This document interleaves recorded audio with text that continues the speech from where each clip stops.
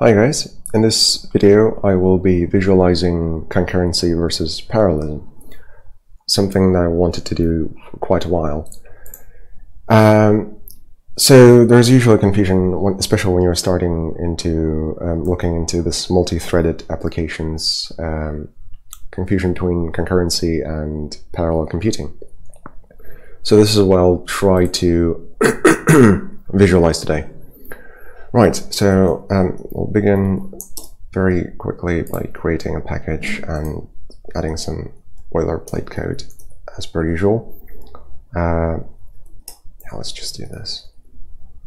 So yeah, the scope of this tutorial is not to discuss the details of these two um, computational models, but simply give a visualization of them.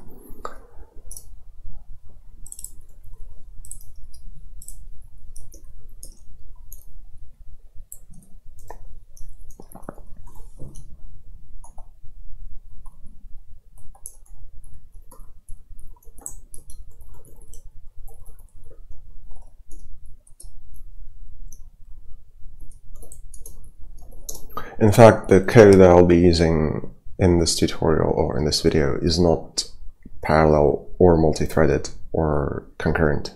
It's all going to be executed sequentially, but the visualization will be um, representative of what the actual thing happens when, when it comes to concurrency versus parallelism.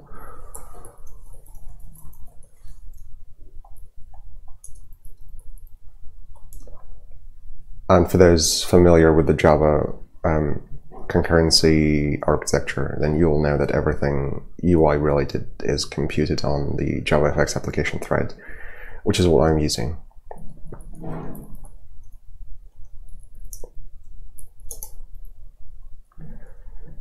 And I think we'll need some things to draw on. So let's call it job canvas. So I'm going to use um, four canvases and I will draw onto them and we'll try to see how concurrency drawing differs from parallel drawing. And before doing that, to just give you some idea of what should happen is I'll give you a textual version of it first. Let's start with sequential because this is if you haven't done any multi-threaded programming, then so far you've been doing sequential programming, which is basically given two jobs, J1 and J2, you complete job one, uh, suppose job one or jobs in this scenario take six segments to execute. One, two, three, four, five, six. So job one is now complete. I can now move on to job two. One, two, three, four, five, six. So sequentially, this is what it looks like. You complete one job, you then only then move to a different job. Now in concurrency, um, there are various definitions of concurrency. Um, the one I quite like is the overlap of jobs. So that you can start and work on two jobs um, at the same time with overlapping periods. But at any given real time, there's only one job being executed. And this is clearer if I draw something like this. Uh, we've set six segments, so job one, two, two, two. This gives us six segments, and the same thing happens with job two. So job one is paused at this moment, and then the CPU starts working on job two. So from the perspective of the user, those both of those jobs are executed almost at the same time. Although now you know the difference, they're not actually being executed at the same time. You can see that at any moment in time, there's only one job being executed. The CPU simply alternates between them and however many jobs you have. And then we have this thing called parallelism, which is well, possibly simpler to describe because it literally executes two things at the same time, or two or more things if you have more than two. Um, that requires actual physical hardware, so you need to have more than two, um, more than one core, physical core to execute two things at the same time. Um, yeah, there's also hyper-threading thing that I'm not going to talk about. So both sequential and concurrency computational models can be done on a single core CPU. Parallelism requires at least two cores. Right, so now that this is slightly more helpful, I think we can now move on to actually drawing stuff.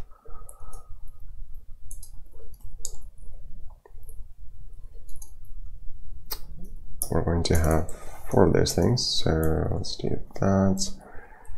Um, state positions.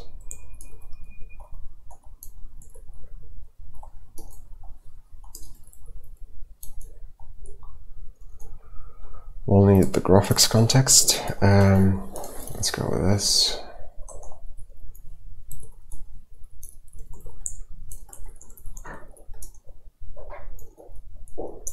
That'll do for now. And um, get children add all. New job canvas at zero zero.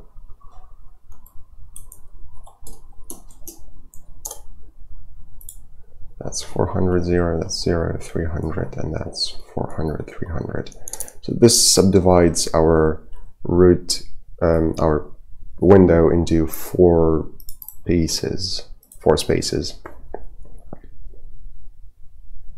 so although you can't actually see it at the moment you have we have four um, subspaces of the window in which we'll try to visualize concurrency versus parallelism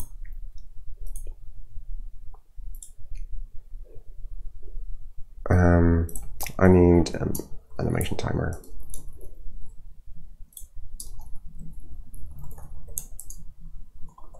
Before I forget, timer start. I always keep forgetting that. That's the call. Uh, let's do concurrent. So we'll do concurrency for the two subspaces um, at the top, and we'll do parallel computing for the two subspaces at the bottom. This is going to run concurrently. This is going to run in parallel.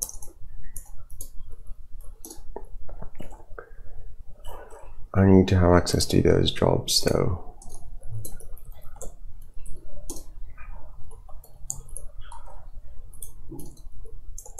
Jobs. Nope.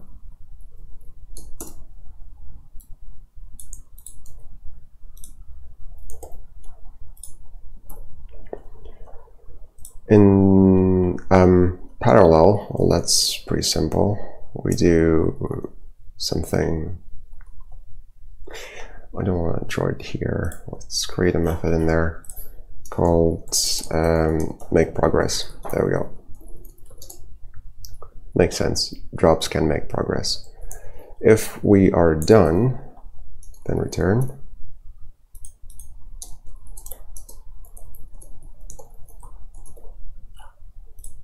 else draw, um, how do we draw? Fill rectangle. We need x and y coordinates.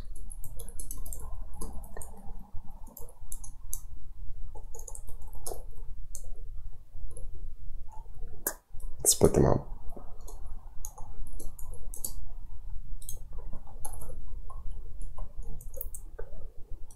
Current x, current y, um, pixels pixels per progress. Let's make it four to make it faster.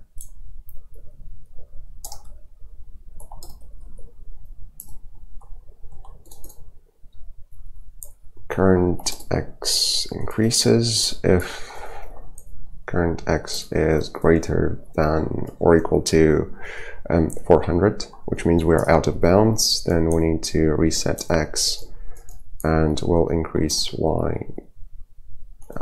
it's actually pixels per progress.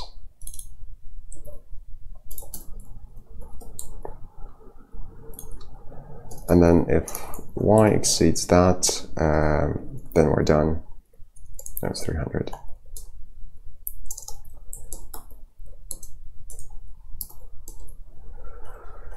So, in which case we can do make progress and do that. So 2 and 3 are at the bottom, these two. Um, at the top we have 0 and 1. These are indices that I'm talking about. For concurrency, I need to alternate between them, so I need to keep track of the job index that I'm currently working on. And I can do jobs get job index make progress. Job index increases. If job index reaches 2, then we swap. We go back. Is that it? Let's try this. So the two at the top are concurrently executed and the two at the bottom are executed in parallel. And well, we're almost getting twice the speed and that's the theoretical, I think, um, performance boost that you can get. Probably even slower than that. Um, well, the concept is that these at the bottom executed at the same time. And the ones at the top, they alternate. So you execute job one, then you switch to job two and to job one.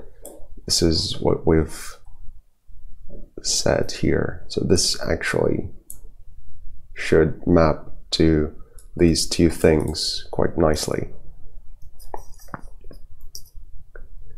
And that is essentially the visualization of concurrency versus parallel computing.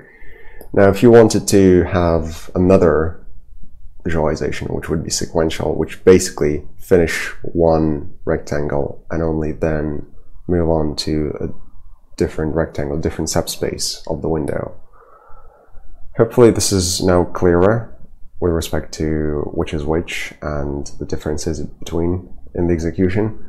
There are very um, there are a lot of tiny details that I've omitted. For example, in concurrency, you can actually get better speed um, or finish quicker than in sequential. Currently, I have them as things that cannot be split, so atomic jobs um, that simply require to have six um, segments to execute. You could um, have a scenario where there's an I.O. operation involved of some sort, whether networking or reading from a file or a database. And if that takes a long time, what you could do um, in the concurrency model is to make that thread wait and do some other work or make the job kind of pause while it's waiting for the um, I.O. operation to complete and then do something else and then come back when the I.O. IO operation finishes. That way, you're actually going to finish the two jobs quicker than in the sequential model.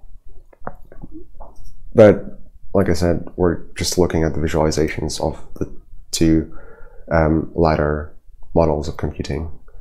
And hopefully this has been now demystified for you. Thanks for watching.